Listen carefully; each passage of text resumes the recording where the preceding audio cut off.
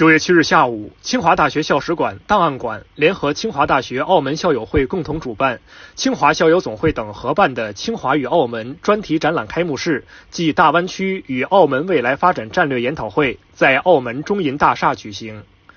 清华大学党委书记、校务委员会主任陈旭在开幕仪式前参观了展览，并对展览举办表示祝贺。中央人民政府驻澳门特别行政区联络办公室副主任姚坚等分别在展览开幕式或研讨会上致辞。